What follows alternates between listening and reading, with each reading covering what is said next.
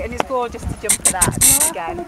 She is lovely, and actually when the jumps get bigger, it is, When the jumps get bigger, you just sit and relax.